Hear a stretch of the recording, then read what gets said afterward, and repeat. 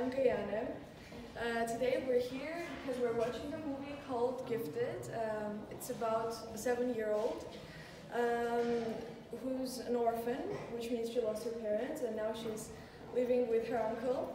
Um, she has like this super genius brain, uh, mathematical abilities.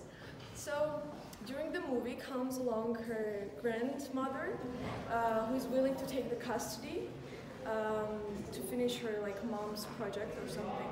So let's see where this goes. Um, after this, we should discuss the film, what we liked, what we disliked, and we should write this in our blogs.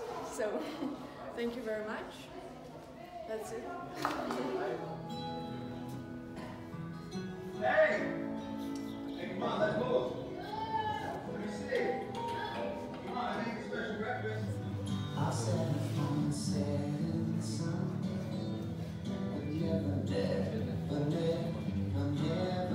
Uh, the main idea of the movie was to live life at its fullest and um, take advantage of all the opportunities that you're given in your life.